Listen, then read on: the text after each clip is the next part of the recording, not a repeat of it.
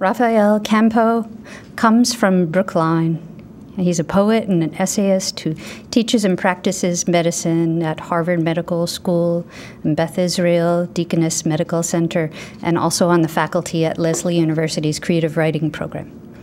He's the recipient of numerous honors and awards, including the Guggenheim Fellowship, National Poetry Series Award, a Lambda Literary Award for Poetry, and many others. And in 2009, he received the Nicholas Davies Memorial Scholar Award for the American College of Physicians for Outstanding Humanism in Medicine. His work has also been included in a number of anthologies and in many prominent periodicals. He has published a number of books, including his latest collection of poetry titled Alternative Medicine. In an interview, Rafael spoke a bit about how he sees the art of writing and sharing poetry as it relates to healing. And he noted Writing a poem to me is a sacred act. It is a moment of profound reverence for the mystery of our humanity. In all its unfathomable complexities, feeling the hair on the back of my neck stand up as I realize what I am trying to do. It's also an act of humility and service. Another way, it's like healing, in which I give myself over to the power of the narrative itself, the acknowledgement that no poem or story is owned by one person, but instead belongs to us all. So, with that, I would like to introduce Rafael to come up and to share some of his poetry, and it will be our poetry this morning. Please give him a warm welcome. As Cheryl mentioned, uh, our theme this morning is healing, and uh, I wanted to make my reading a reflection of the connections between poetry and healing. And to do that, I thought I would start with a poem that uh, will take us back to the terrible events of 9 11. And I'm sure, like all of you, uh, I remember certainly where I was on that terrible morning. Uh, I was in my clinic with my patients.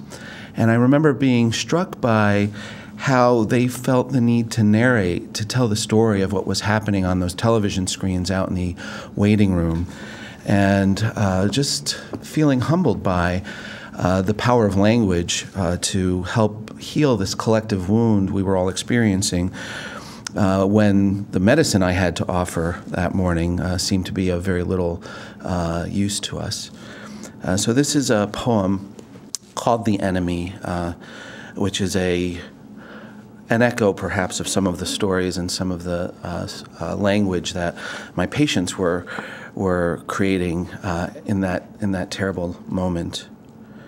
The enemy. The building's wounds are what I can't forget. Though nothing could absorb my sense of loss, I stared into their blackness, what was not supposed to be there, billowing of soot and ragged maw of splintered steel, glass. The building's wounds are what I can't forget. The people dropping past them, fleeting spots approaching death as if concerned with grace. I stared into the blackness, what was not inhuman, since by men's hands they were wrought. Reflected on the TV screen, my face upon the building's wounds. I can't forget this rage. I don't know what to do with it. It's in my nightmares, towers, plumes of dust, a staring in the blackness. What was not conceivable is now our every thought. We fear the enemy is all of us. The building's wounds are what I can't forget. I stared into their blackness, what was not.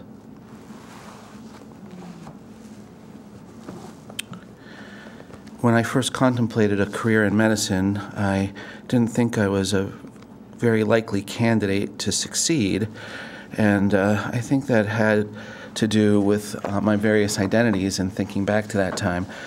I first remember uh, worrying about my faith and not seeing much of a spiritual life among physicians. I thought that might be uh, a problem for me if I became a physician myself someday.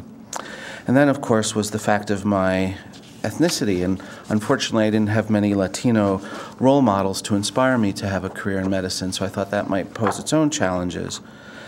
And then, of course, was the fact uh, that I'm gay, and I hadn't really uh, experienced uh, much support from physicians uh, uh as a gay man and worried that that might be the biggest obstacle uh, that I might face in uh, becoming a physician someday myself. And then, as it turned out, when I finally got to Harvard Medical School, it was the fact that I was a poet that was such a problem.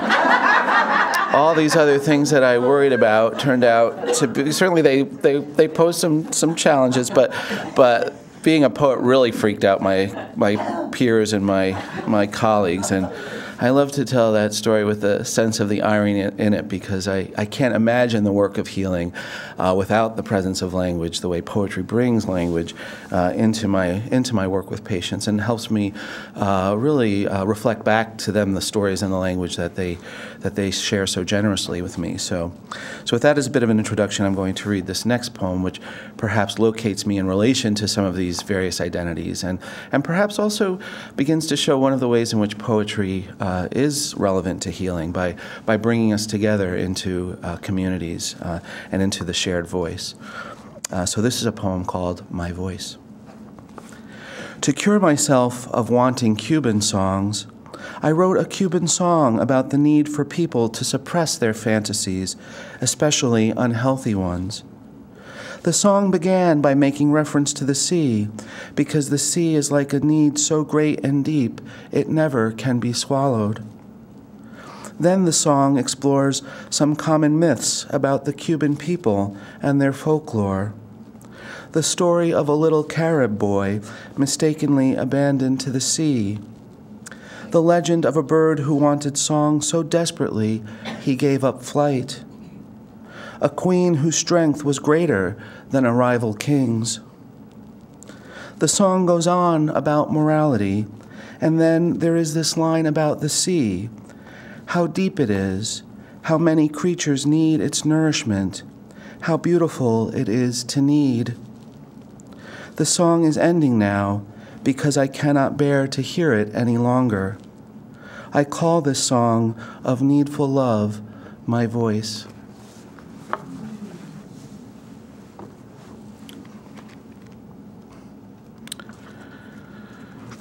Now that I'm on the faculty at Harvard Medical School, one of my roles is to think about the ways in which poetry and, and literary writing and, and really the humanities in a broad sense uh, might be useful in, in medical education and in, and in modeling more empathetic, more compassionate relationships between people caring for patients and our, our patients.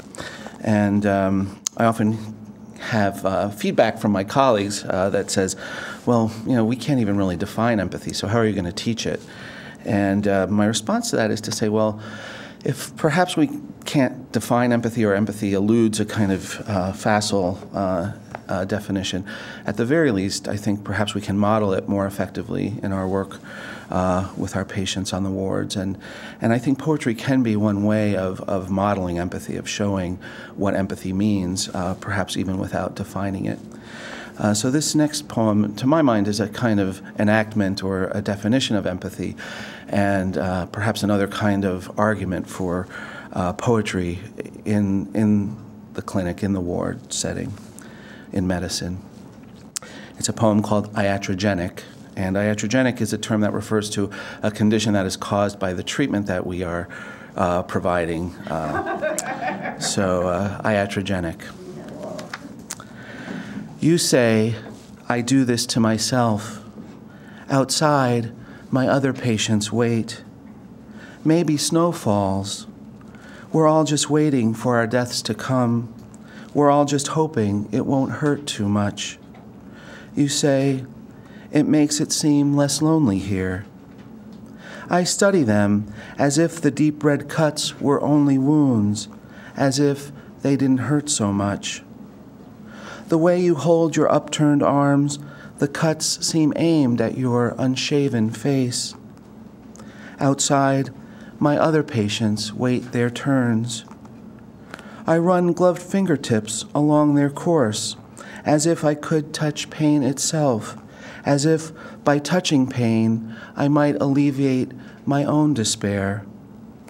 You say, It's snowing, Doc. The snow, instead of howling, soundlessly comes down. I think you think it's beautiful. I say, This isn't all about the snow, is it? The way you hold your upturned arms, I think about embracing you, but don't. I think we do this to ourselves. I think the falling snow explains itself to us, blinding, faceless, and so deeply wounding.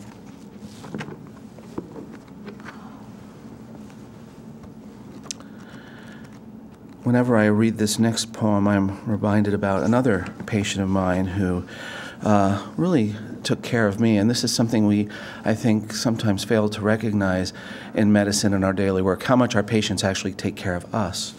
And, um, and so I wrote a poem about that because I think uh, poetry, another function of poetry in, in, in the world of healing, is to help us get outside of our usual boxes and to, and to think about those kinds of um, unexpected aspects of the work that we do.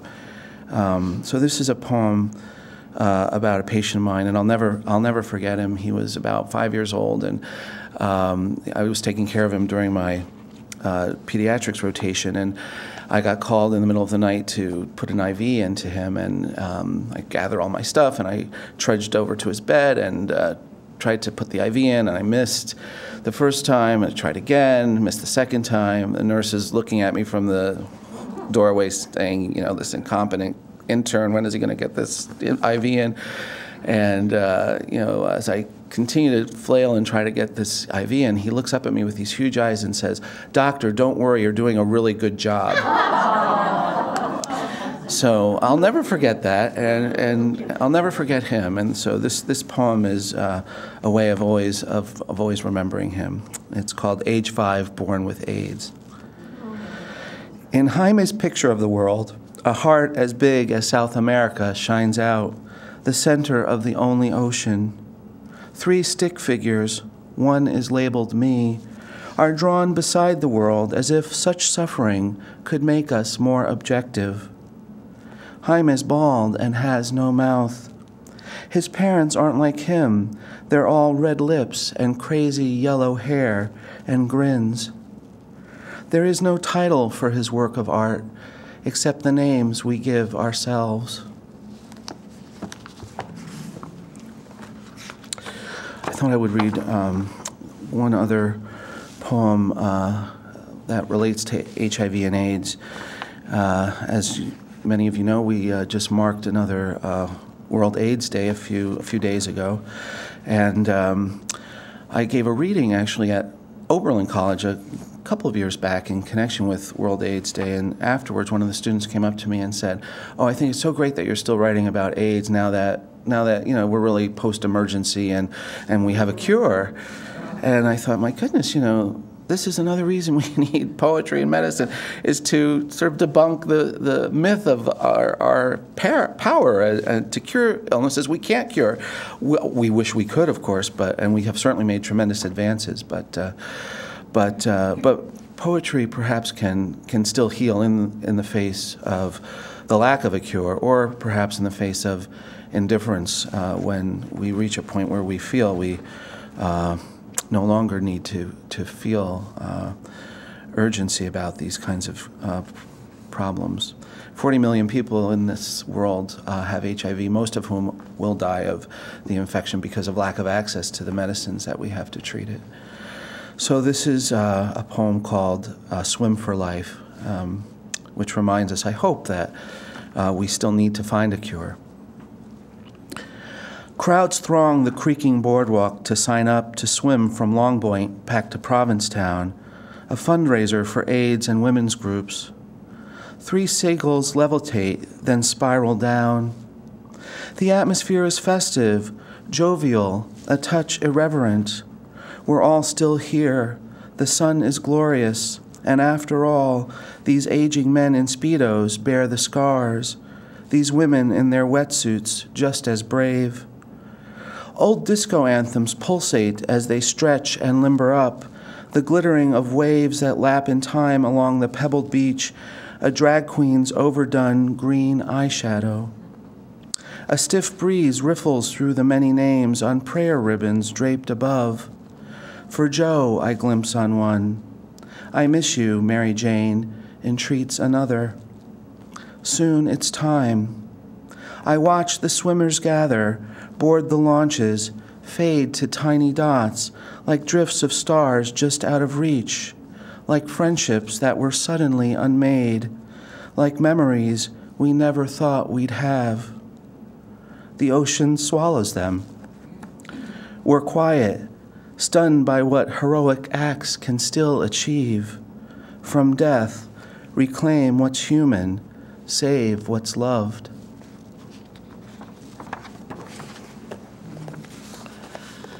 Uh, whenever I read these next poems, people will say, or used to say, oh, those poems you read towards the end remind me of that television show, and usually it was ER. Um, now it's House, I guess, or one of the other ones. And um, I always have to say for the record that these poems were written well before any of those shows aired and were really written with a different um, impulse, I think. I, I was trying in these poems to uh, honor the dignity of some of the patients I've cared for rather than to glamorize the doctor's role in, in um, the experience of healing. So, so this is a, um, a series of poems. They're sort of broken sonnets. They're love poems uh, for some of my patients, and I'll just I'll just read a few of them for you this morning. Uh, the sequence of poems is called Ten Patients and Another. Mrs. G. The patient is a 60 odd year old white female who presents with fever, cough, and shaking chills. No further history could be elicited. She doesn't speak. The patient's social history was non contributory. Someone left her here. The intern on the case heard crackles in both lungs. An EKG was done, which showed a heart was beating in the normal sinus rhythm, except for an occasional dropped beat. An intravenous line was placed. The intern found a bruise behind her ear. She then became quite agitated and began to sob without producing tears. We think she's dry. She's resting quietly on Haldol, waiting for her bed upstairs. Jamal.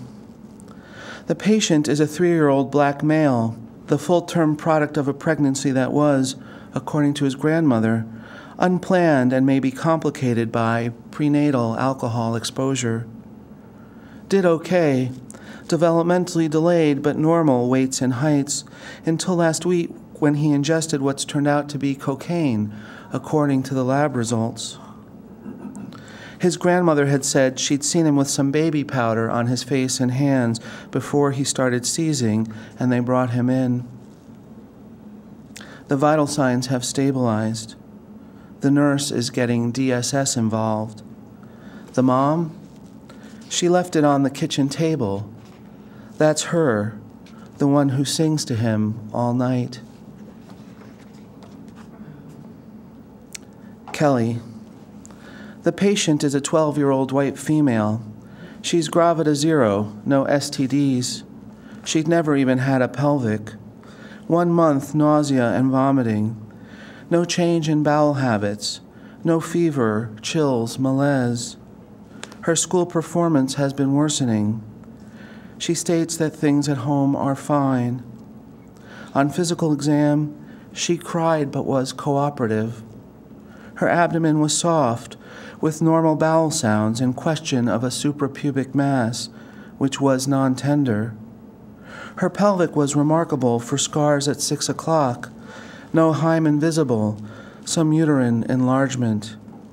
Pregnancy tests positive times two. She says it was her dad. He's sitting in the waiting room.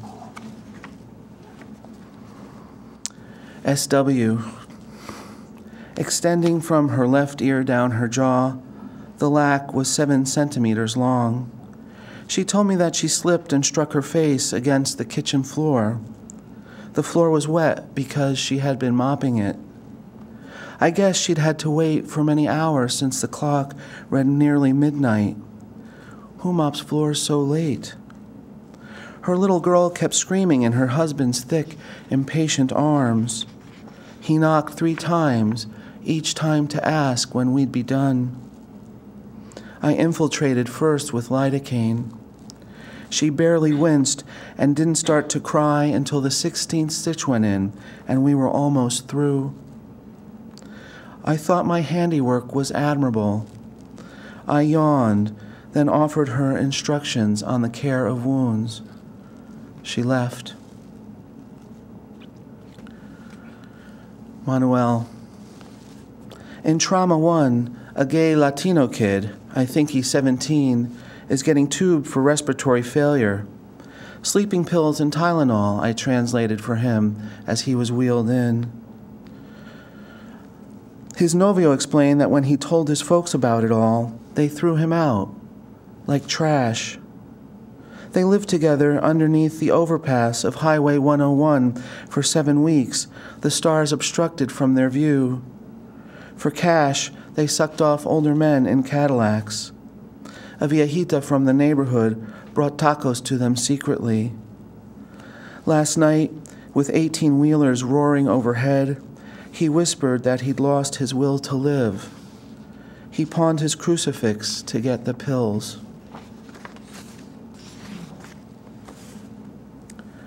Jane Doe number two. They found her unresponsive in the street. Beneath a lamplight, I imagined made her seem angelic, regal even, clean. She must have been around 16. She died who knows how many hours earlier that day, the heroin inside her like a vengeful dream about to be fulfilled. Her hands were crossed about her chest as though raised up in self defense. I tried to pry them open to confirm the absence of her heartbeat, but in death she was so strong, as resolute as she was beautiful. I traced the track marks on her arms instead, then pressed my thumb against her bloodless lips, so urgent was my need to know. I felt the quiet left by a departing soul. Um, I'm going to close by reading one very short uh, excerpt from an essay. Um, I hope I've given you a sense of the connections between poetry and healing um, in my own experience, and uh, and the value of of the humanities of literary writing and of poetry specifically in in uh, the work of physicians and other care providers. Um, but this little excerpt of an essay from an essay called AIDS and the Poetry of Healing, I think, um, says, says it a bit more explicitly. Um, so I want to thank you all for your attention, and I'll just close with these last couple of paragraphs. Um, in poetry are present the fundamental beating contents of the body at peace, the regularity of resting brainwave activity in contrast to the disorganized spiking of a seizure, the gentle ebb and flow of breathing or sobbing in contrast to the harsh spasmodic cough, the single voiced ringing chant of a slogan at an ACT UP rally in contrast to the indecipherable rumblings of AIDS funding debate on the Senate floor. The poem is a physical process, is bodily exercise. Rhymes become the mental resting places in the ascending rhythmic stairway of memory. The poem, perhaps, is an idealization or a dream of the physical, the imagined healthy form, yet it does not renounce illness. Rather, it reinterprets it as the beginning point for healing. I wonder then whether poetry might also be therapeutic. Many of my friends, especially some of my colleagues in medicine, have teased me for believing in the curative power of words, joking that I should write some doggerel on my prescriptions instead of the names of medications and directions for their use. If poetry is made of breath or the beating heart, then surely it's not unreasonable to think it might reach those places in the bodies of its audience, however rarefied. Moreover, I joke back, I have never seen a poem cause fulminant liver failure or bone marrow toxicity, even a really bad one. putting the mouth to words, and by incantation returning regular rhythms to the working lungs. These were the principles by which ancient healers in Native American cultures practiced their art. The Egyptians gave their dead a book full of charms and spells to be used in the afterlife. Might not poetry then facilitate the passing to another realm? Poetry is a pulsing, organized imagining of what once was, or is to be, what life once was, what life is to be. It is ampules of the purest, clearest drug of all, the essence and distillation of the process of living itself. Thank you very much.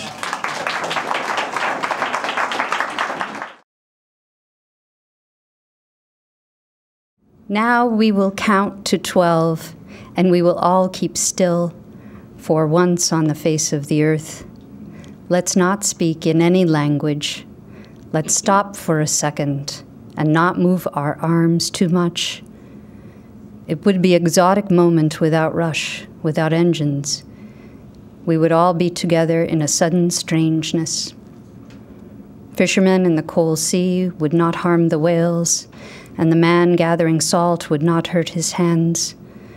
Those who prepare green wars, wars with gas, wars with fire, victories with no survivors, would put on clean clothes and walk about with their brothers in the shade, doing nothing. What I want should not be confused with total inactivity. Life is what it is about if we were not so single minded about keeping our lives moving and for once could do nothing, perhaps a huge silence might interrupt the sadness of never understanding ourselves and of threatening ourselves with death. Perhaps the earth can teach us when everything seems to be dead in winter and later proves to be alive. Now I'll count to 12 and you keep quiet and I will go.